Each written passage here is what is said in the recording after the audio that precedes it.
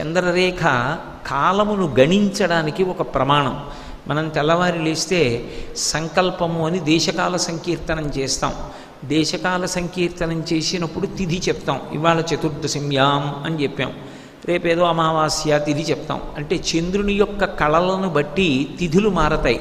తిథులు మారితే కాలము వెళ్ళిపోతోందని గుర్తు. వెళ్ళిపోతున్నటువంటి కాలమునందు సమస్తమైన జీవులు పడిపోతాయి. కానీ కాలమునకు సంకేతమైనటువంటి చంద్రవంకని తన శిరస్సు మీద ధరించినటువంటి పరమశివుడు కాలాతీతుడై సర్వకాలముల యందు ఉండేటటువంటి శాశ్వతమైన స్వరూపమైన వాడు అటువంటి వాడికి మనం ఇవ్వగలిగినది ఏముంటుంది? మోక్షానందాన్ని కూడా ఆయన మనకివ్వగలడు తప్ప ఆయనకి మనం ఇవ్వగలిగినవన్నది లేదు. కమర్థం దాస్యేహం భవతు భవదర్థం మమ మనః అంటారు. కాబట్టి శివ మీకు మేము ఇవ్వగలిగినది ఏముంది? ఏమీ లేదు. మేము ఇవ్వగలిగినది అంటూ ఉంటే ఒక్కటే ఉంది. మమ మనః నా మనస్సు ఒక్కటే ఉంది.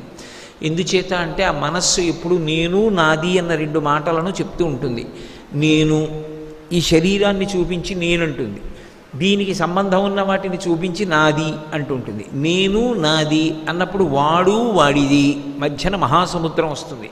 అజ్ఞానం అంతా అక్కడే ఏర్పడుతుంది. ఏర్పడేటప్పటికీ మనిషి అధపతనాన్ని చెందడానికి కావలసినటువంటి కారణములన్నీ అందులోంచి ఉద్భవిస్తున్నాయి కనుక ఈశ్వర నేను నాది అనేటటువంటి రెండు పదములకు ఆధారభూతమైనటువంటి నా మనస్సుని నీ పాదముల దగ్గర పెట్టేస్తాను. ఒక్కసారి మనసు ఈశ్వరుడి దగ్గర పాదములు పెడితే పాదముల దగ్గర పెడితే ఆయన పరమప్రసన్నుడవుతాడు. మనస్సు ఆయన దగ్గర పెట్టడానికి అదేమైనా వస్తువా? తీసి ఎలా పెడతాం? పెట్టడం కుదరదు. అంటే మనసు ఆర్ద్రత చెందాలి. ఆర్ద్రత అంటే భగవంతునకు మనకు ఉన్నటువంటి సంబంధమును విచారణ చెయ్యాలి. ఈ శరీరాన్ని ఇంత గొప్పగా నిర్మాణం చేసిన వాడెవరు? ఈ శరీరాన్ని ఒకప్పుడు అమ్మ కడుపులోకి చేర్చిన వాడెవడు? పైకి తెచ్చినవాడెవడు దీనికి సమర్థత ఇచ్చిన వాడెవరు? దీనికి గురువుగారి అనుగ్రహంతో శాస్త్రాన్ని చదువుకుని భగవంతునితో ఉన్న అనుబంధాన్ని తెలుసుకుని పూజ చెయ్యగలిగినటువంటి వైభవాన్ని చేకూర్చిన వాడెవరు? సర్వోత్కృష్టమై శాస్త్రములను తెలుసుకుని ధర్మాన్ని ఆచరించగలిగినటువంటి శక్తి కలిగినటువంటి ఈ శరీరాన్ని కృపచేసినదెవడు బయట సుఖములను అనుభవించడానికి బ్రహ్మాండంలో ఇన్ని సుఖస్థానములను ఉంచినవాడెవరు?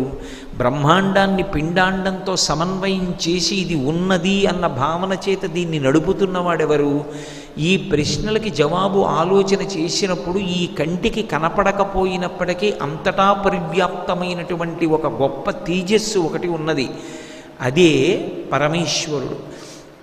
అటువంటి పరమేశ్వరుడు గొప్ప ఉపకారం చేస్తున్నాడు. ఊపిరి ఆయన తీయిస్తున్నాడు. నేను ఊపిరి తీసింది నిజమైతే చనిపోయిన వాళ్ళందరూ ఊపిరి తీసుకోవడం చేతకాక చనిపోయిన వాళ్ళు కారు. ఆయన అనుగ్రహం ఆగిపోయింది ఇక ఊపిరి తీయడం ఆగిపోయింది. అందరూ ఊపిరి తీద్దాం అనుకున్న వాళ్ళే కానీ ఒకనాడు ఒకడు ఊపిరి తీయలేక అతని యొక్క పిండాండాన్ని బ్రహ్మాండంలో కలిపేయవలసినటువంటి అగత్యం ఎందుకు ఏర్పడుతుంది? అంటే కోటి మంది వైద్యులు కూడి వచ్చిన కానీ మరణమయ్యడి వ్యాధి మాన్పలేరు. ఆ పరమశివుని యొక్క అనుజ్ఞ అయిపోయిందనుకోండి ఆ ఊపిరి అక్కడతో ఆగిపోతుంది.